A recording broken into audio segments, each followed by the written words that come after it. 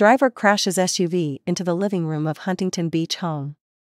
An SUV driver crashes into the living room of a Huntington Beach house Thursday afternoon, official says.